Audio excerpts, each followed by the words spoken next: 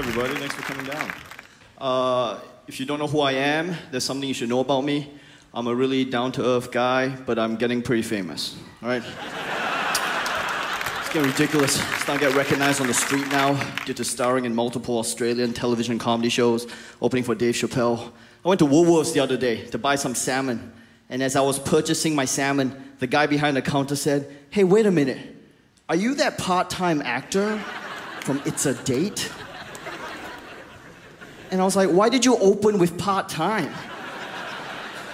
Were you trying to imply that my performance on It's a Date was somehow amateur? Or that a full time actor would not be purchasing his own salmon at Woolworths? You don't know. I could be a full time actor. You don't know me.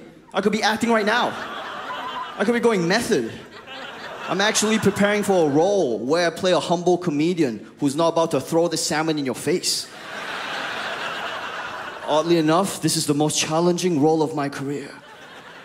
Speaking of Woolworths, we're all being lied to. Every single one of us in this room is being lied to by Woolworths. You know that dollar coin you put in shopping trolleys? That dollar coin shouldn't be stopping anybody. The slag metal value alone of that shopping trolley exceeds a dollar. You can put a dollar in that thing, you can take that bad boy home. You'll still come up on top. Every time I bring this up, my friends say the same thing. They say, Ronny, you're overthinking this. As usual, you're being too clever. That dollar coin isn't there to stop you from taking the trolley home. That dollar coin is there to reward you for putting the trolley back. It's your reward for keeping the place tidy. Okay, well then guess what, Woolworths? Don't pay me my own dollar to keep your place tidy. Pay me an additional dollar in salary. That was my money to begin with. That'd be like me paying for this salmon with an apple from your fruit section.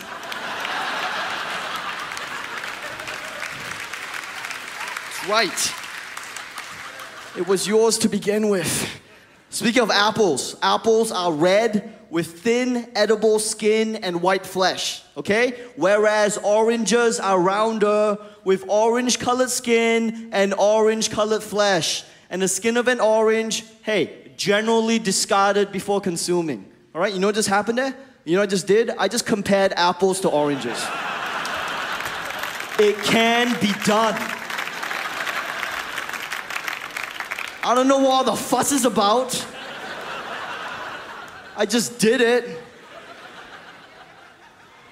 Helps if you speak English. Hey, fellas. Hey, guys. Guys in the room, have you ever gotten in trouble with your girl over some shit Kanye West said in a song once?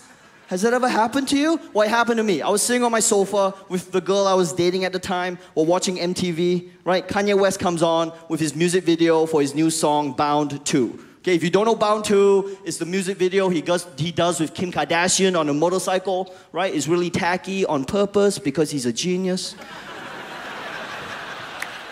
So while watching this goddamn video, Kanye West comes on, and one of the lyrics in his song happens to be, Have you ever asked your bitch for other bitches? Okay, so he's singing his song, Have you ever asked your bitch for other bitches? Immediately, the girl I'm dating just turns to me, right? Just angry and disgusted.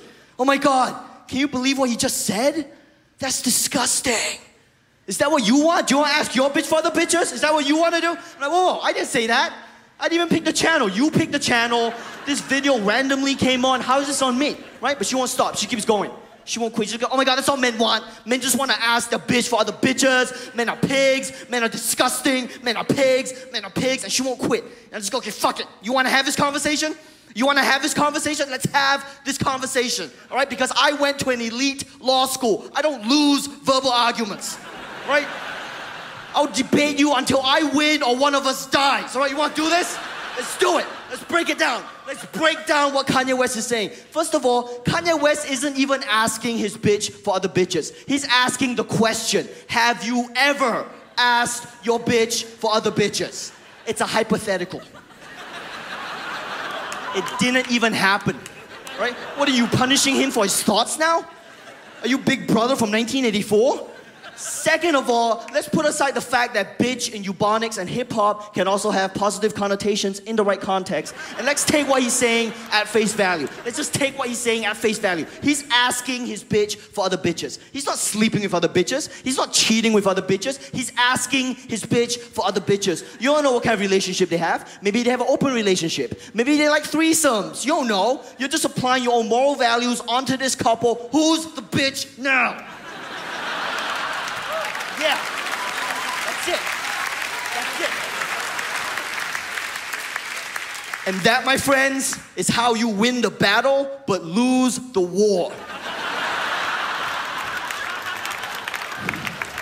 because I successfully argued my way out of that relationship.